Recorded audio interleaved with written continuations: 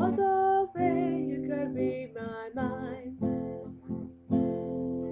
The pages of my memory tell a story, but you need to read between the lines.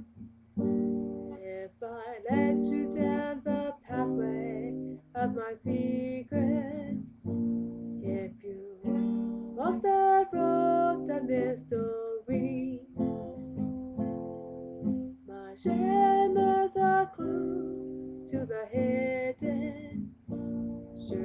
What is it that you can see? Stand in my shoes for a moment. Then you'll see clear as day.